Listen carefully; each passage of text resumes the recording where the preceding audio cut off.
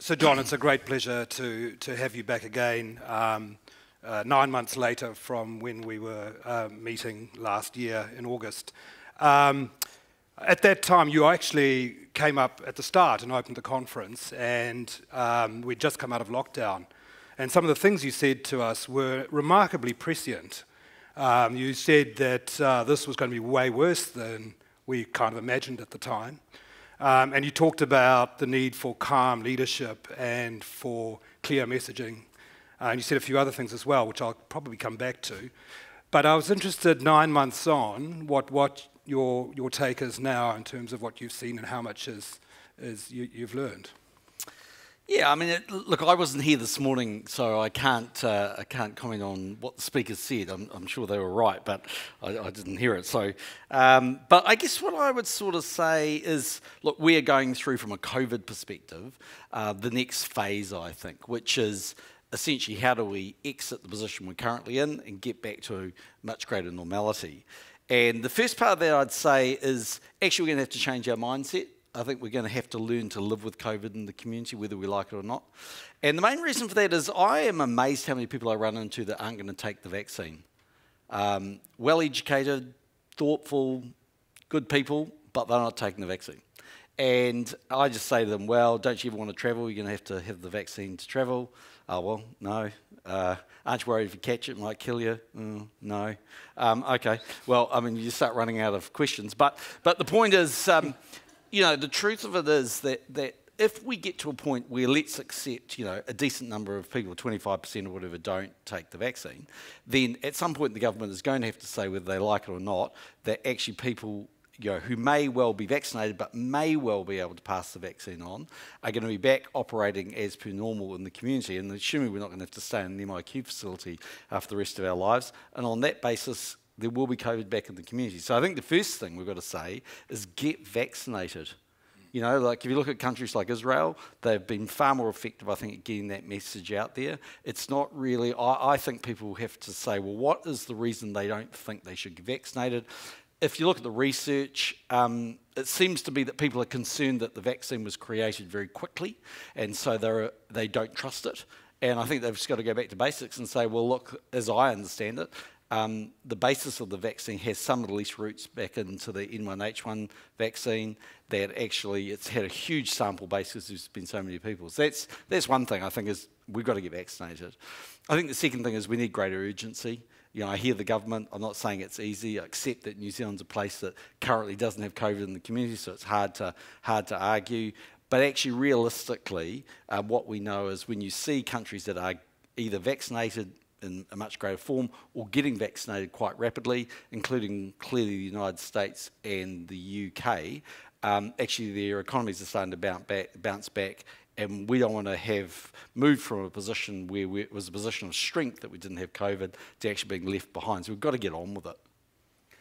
Um, one of the areas that you talked about last time that uh, I'm keen to um, uh, raise again is the you talked about the need for investment into infrastructure and the you know the significant challenge that Auckland faces in terms of the investment that's required. Um, and you talked about the challenges that the council has whether its revenue to debt ratios and the limits and the caps in terms of, of that, that um, ability to invest.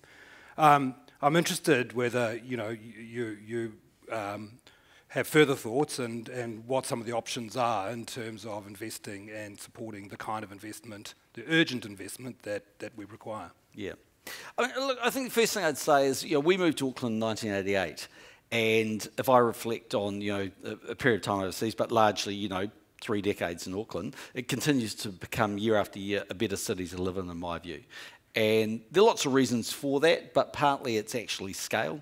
Um, I personally like the fact it's a multicultural society in Auckland, that a third of people weren't born in New Zealand. Um, I think it actually makes it a much more interesting, fun place to live in, and, um, and a, a, bit more of a, a, city that actually has a global perspective. I think there's more things we can, I mean, if you look at and you say, well, what makes a good city? Um, firstly, it's you know you can actually do lots of fun things, and I think there's some simple things actually in Auckland that you could do to celebrate the diversity of Auckland. Uh, they actually don't cost any money. AKA, why don't we have a Chinatown in Auckland? I mean, you can argue, okay, look, there's plenty. Of, I'm, not, I'm not an idiot. There's plenty of parts of Auckland that have great Chinese restaurants, and you know, are dominated maybe by them. Or why don't we have a little India in, in Auckland? Or why don't we celebrate the Pacific food and culture in, in a space in Auckland? I mean, they'd be fantastic things to do. Tourists would love it. Locals would love it. They're not actually that hard, and they would they would just add to the fun of, of Auckland being a place. But inevitably, if you look at the Auckland plan, by 2031, home to 1.9 million, I suspect it might be greater. Let's call it 2 million. You need infrastructure. And the question ultimately comes down councils by law can't go broke, so they're limited to what they can borrow. They have a limit to the way they can raise money. So the big issue really is that, unlike central government, that's got many levers to pull and can ultimately, as long as they get the appropriation through the House, essentially get, get the funds, local government has far less levers to pull. So at the moment, the council said, well, okay, it's a 5% rate rise and 3.5% for the next nine years. Um, will that be enough to fund the infrastructure they need, which is $31 billion, but arguably more? The answer is no.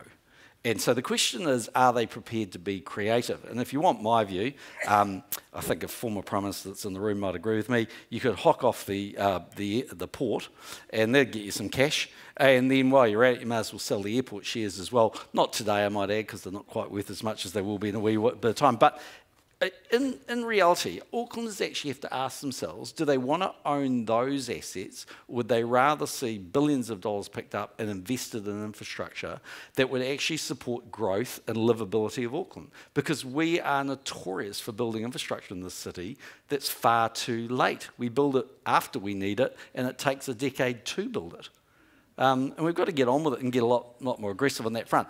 I, I think, and it, the answer can't simply be everlasting increases in rate rises. It's not going to work. And so, if you can build a more efficient city that can be home to more people, then I would say to you that that can provide revenue growth on a rates perspective, um, which is quite significant to Auckland. Last thing I would say is um, you know, you can have the brickbats, but on the bouquets front, the changes to the unitary plan have allowed intensification of the city. Not everyone's going to love it, but I do think that it is going to both add to the housing stock, which is obviously required, and and is actually the sensible thing to do. So we just need to keep keep pushing all those buttons.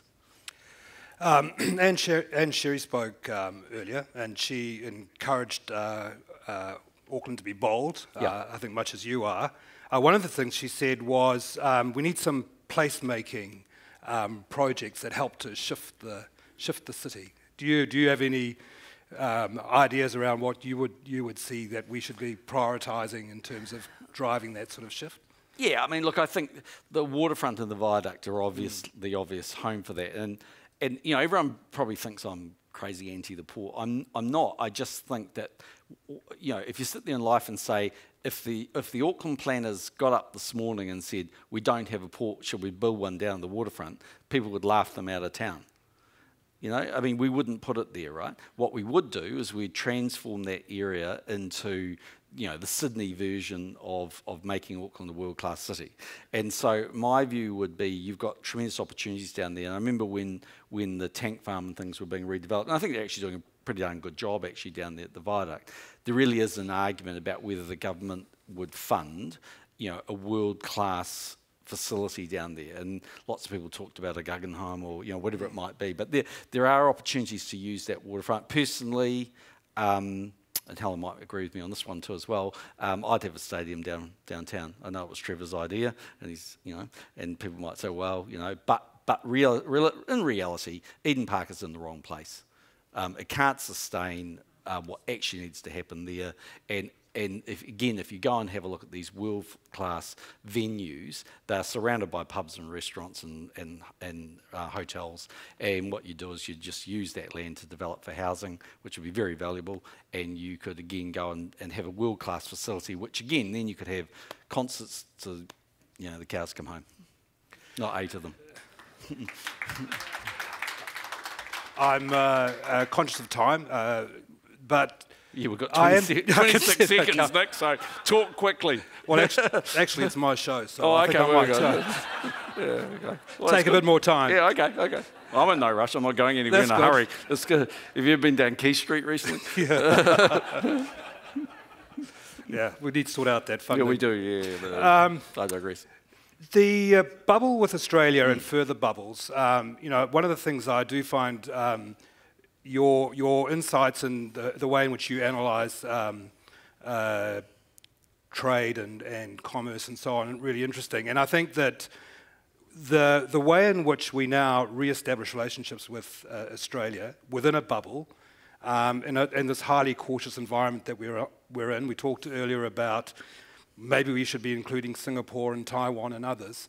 I'm interested in the dynamics that are created as that relationship starts to open, and I think particularly of things like skills and the battle. Someone we talked earlier about the battle for talent. Um, do you do you have a, a, view on the way you see the dynamics of that playing out from today and um, you know, over over the next sort of six months? Yeah, I mean, look, I think the first thing is the bubble's a really good step.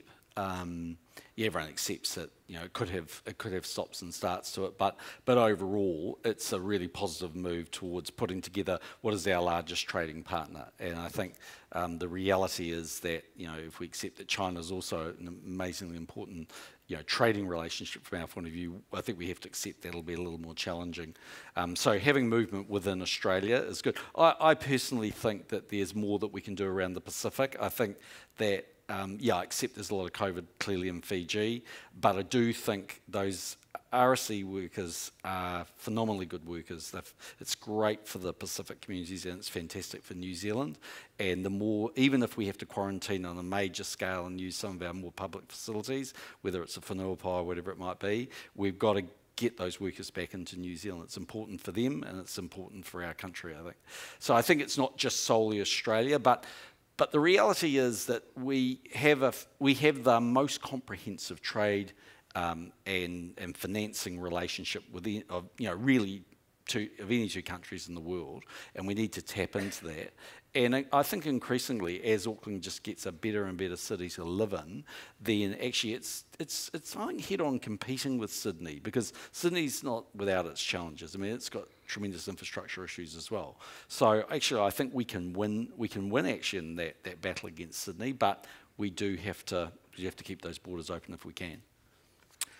Um, look, I as much as I joked about it being my show, there are actually more important people than me that are running this thing. And so um, I'm, I'm not going to uh, take any longer, but I would just like to, to thank you very much for uh, coming back. Um, I think that, that your presence and, and Helen Clark's presence uh, certainly give um, the, the direction that we're heading in a, a, gravitas and support, and your, your wisdom and experience is really valuable. So I'd like you to join with me and, and thank Sir John for joining us. Thanks, Ross. Pleasure. So my, uh, my final task is uh, to close this hui and to um, uh, thank a few people who have been uh, instrumental in bringing this to you today. Um, I want to thank the speakers, the panelists, who once again um, have provided an awful lot of thoughtful, insightful, challenging kōrero that we are now going to have to have to um, process. We're going to have to turn it into something that's action, that's urgent, that helps to drive some, some bold action. So I want to thank all of you for having given up your time to, to provide that, that stimulus.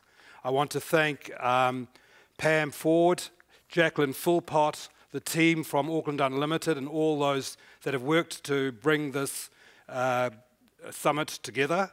Um, again, it has, has been incredibly slick, apart from a couple of slack presenters who slip past time and don't follow rules. You've been incredibly, incredibly efficient and incredibly uh, effective.